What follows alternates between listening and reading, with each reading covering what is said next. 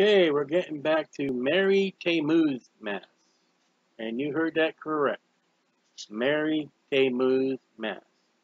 By the time we're done with this study, you'll know exactly what I mean. So we're at when. And we've taken this study from who, the Bible, resurrection, where, what. Last time we did Adonis. Now when? Now we found out that Tammuz is also called Nzambi. Tammuz is also called from last week Adonis. Tammuz is also found in Inanna, which we found in Easter in disguise. We find, I'm trying to find the word here, a dying and rising God. All kinds of things. Go back and get all. Ancient Near East peoples associated Enuzai with the springtime as Easter, when the land was fertile and abundant as Easter. During the summer months, when the land was dry and barren, it was thought that Enunzai had died. During the month of Enunzai, so there's a month called Enunzai, Tammuz, which fell in the middle of summer. People all across summer, S-U-M-E-R, would mourn over his death.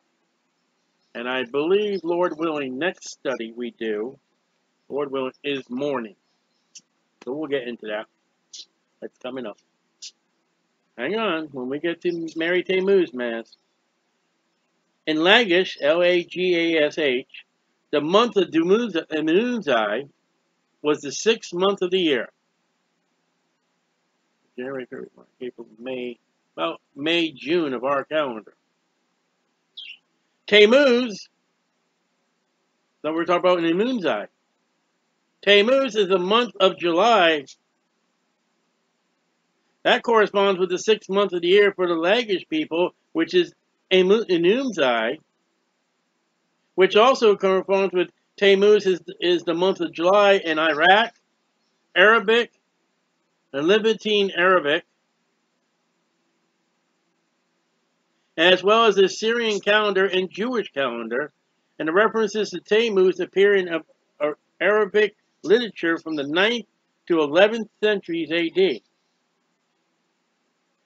Even on the Jewish calendar, Tammuz shows up.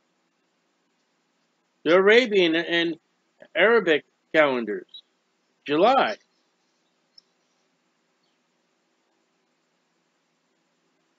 Drawing from the work of Syriac calendar feast days,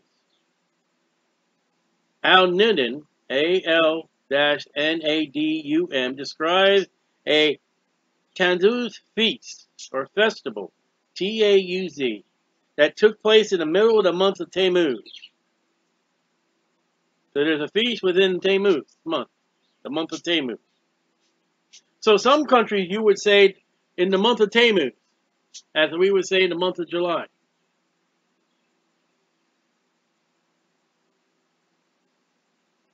Quite interesting. The same festival is mentioned in the 11th century by Ibn Athar I-B-N, A-T-H-I-R, who recounts that it still took place every year in the appointed time along the banks of the Tigris River. Are we getting where? I think, did we do where yet? Yeah, we done where. Go back and get the video. Go back and get the audio. Download it. It in MP3 player. Listen to it. The same festival. Oh, uh, uh, did I just say that? Yeah.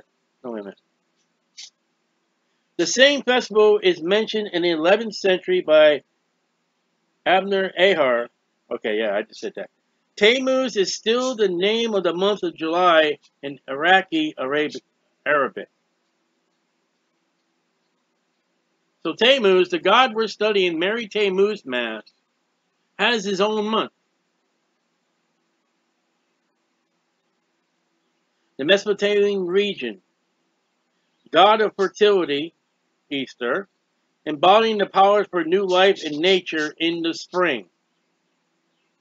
So it's kind of spring, six months, kind of here, there, almost like Easter is not a set time on our calendar. It's different every year. I wonder why now. The earliest known mention of Tammuz is the text dating to the early part of the early dynastic three period. Uh, 2600 century to 2334 BC. But the cult, that's what they call it, that's what they keep calling it, they keep calling it a cult, was much, was much older. But they don't know how far this goes back. The cult, they said it, not me, of centered around two yearly feasts. One celebrating his marriage to the goddess Inanna, Easter in disguise. Remember Easter in disguise when we talked about Inanna? Tammuz, Easter, Tammuz, Easter. The two times that people go to church in the year? The two times that churches of all denominations likes to feast the feast and the festival?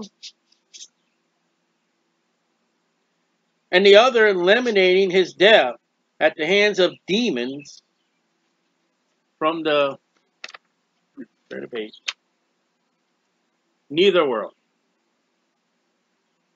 During the third dynasty of Ur, or Ur, that's where Abraham came from. 2112 century to 2004 BC.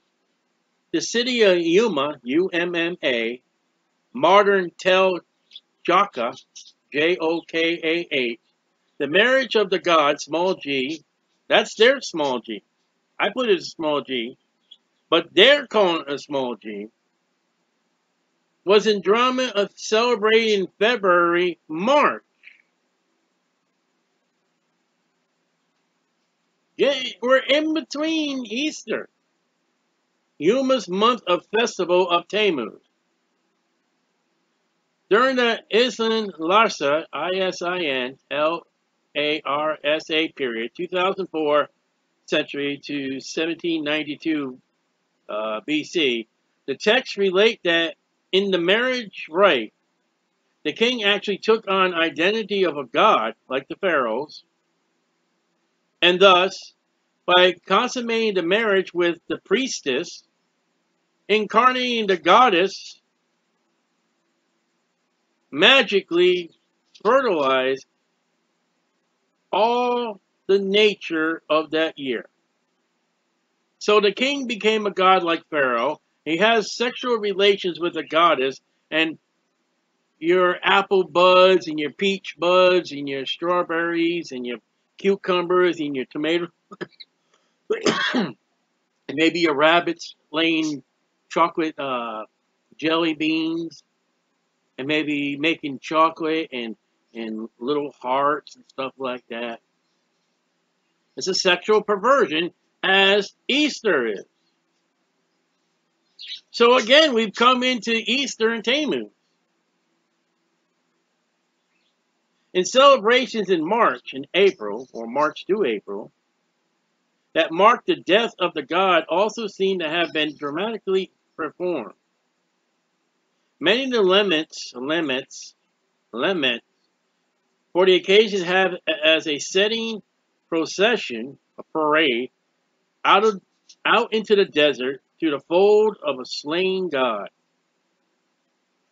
They would march for their slain god as they march for Mary. And I've seen the Catholic Church and St. Mary's Church in New London, Connecticut, where I grew up as a Catholic. I would see them pray down Huntington Street Mary on their shoulders with money being taken to her.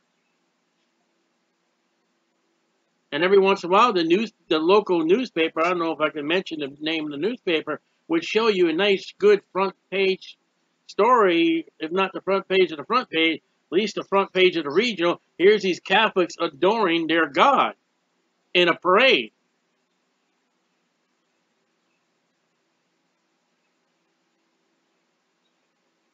Trying to figure where I was at. In Assyria, however, in the 7th century BC, the ritual took place in June, July. So the dates are all messed up, like Easter's all messed up. Now you know why. In major cities of the realm, a couch was set up for the god upon which he lay in state. His body entered appears to have been symbolized by the assemblage of vegetable matter, honey, and variety of other foods. Are you a vegetarian? I'm not saying anything wrong vegetarian, but I mean, this guy looks like he's a V8. He's a garden. He's a garnish.